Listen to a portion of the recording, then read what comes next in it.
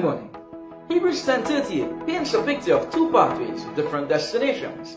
It reads, Now the just shall live by faith, but if any man draw back, my soul shall have no pleasure in him.